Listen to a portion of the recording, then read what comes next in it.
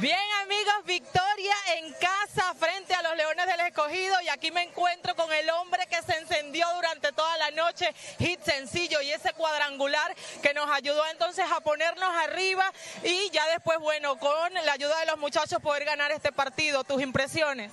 No, primero que nada, eh, gracias a Dios por toda la oportunidad que me dio de, jugar hoy, entonces... Eh, primero que la, la salud y después todo, que todo, todo sale. Uno, uno sale a divertirse, que eso es lo importante, es un juego y hay que divertirse.